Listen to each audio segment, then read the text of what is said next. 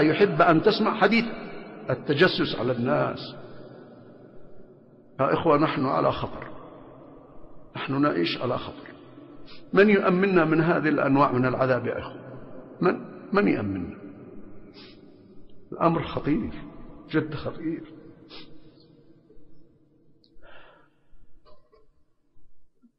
الأمر والله خطر. ليتنا ما خلقنا ولا رأينا الدنيا. ليتنا كنا حجار. نادي الحجار في هذه الجبال. ولا رأينا الدنيا ولا عرفناها.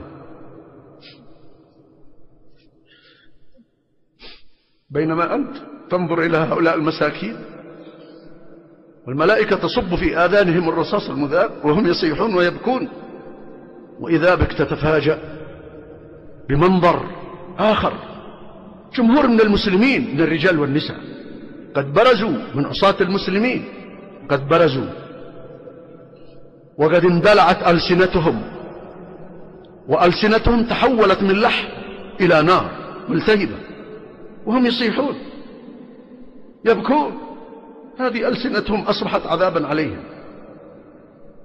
كل واحد يتمنى أن الله يقطع لسانه. ولا يستطيع.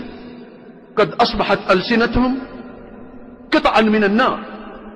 وهم يبكون ويصرخون ولا يجدون من يرحمهم خمسين ألف سنة وهم يتضرعون. تقول من هؤلاء؟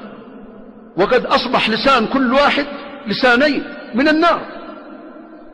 وليس من اللحم من النار. كيف قل لي بربك؟ عندما يصبح لسان العبد عذابا عليه لا يستطيع أن يتخلص منه ولا يبرد عذابه. ولا يهدأ عذابه ما يدري كيف يعمل. أمر خطير. من هؤلاء؟ هؤلاء الذين يدخلون بين الناس بوجوه. يدخل بين الناس بوجهين يأتي إلى المتشاكلين والمتخاصمين. يأتي إلى هؤلاء بوجه وإلى هؤلاء بوجه. من باب التحريش جاء عند أبي داود. والبخاري في الأدب المفرد. وأبي يعلى وغيرهم من حديث عمار بن ياسر رضي الله عنهما. قال قال رسول الله صلى الله عليه وعلى آله وسلم من كان له لسانان في الدنيا من كان له وجهان في الدنيا كان له لسانان من نار يوم القيامة. يا أمة محمد أخوف ما نخاف على أنفسنا من ألسنتنا. اللسان اللسان اللسان يا أمة محمد. النبي صلى الله عليه وسلم يقول لمعاذ وهل يكب الناس يوم القيامة في النار على وجوههم أو قال على مناخرهم إلا حصائد ألسنتهم؟ إلا حصائد ألسنتهم. اللسان يا أمة محمد. اللسان. سئل النبي صلى الله عليه وسلم عن أكثر ما يدخل الناس النار. قال الفم والفرج. اللسان. احذر من لسانك. كم من شخص يطلق للسانه العنن ولا يتورع. يا أمة الإسلام امسكوا ألسنتكم. الأمر خطير.